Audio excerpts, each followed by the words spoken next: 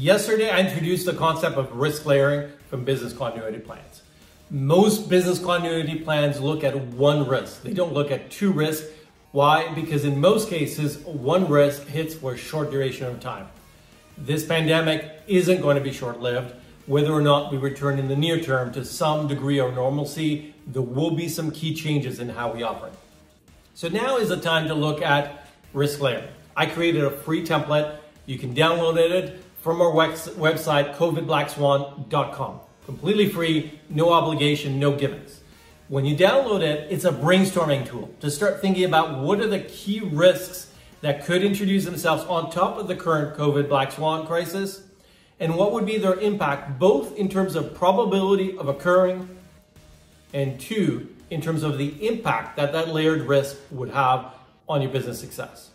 The goal is to prioritize those that have a high impact and a higher probability. It's not about identifying everything that could go wrong. It's about finding the things that are more likely to happen.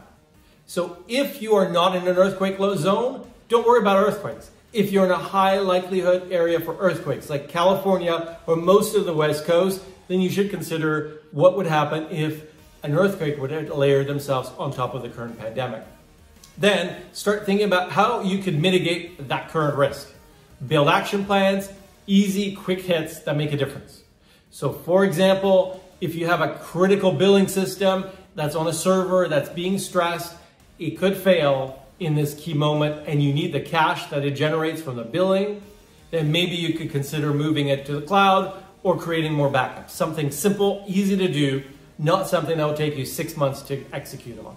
But now is the time to take one hour with your leadership team to brainstorm those key layered risks that could have an impact, use the free template to help you facilitate through that dialogue and understand what could happen and be prepared even if it's unlikely to happen, it could.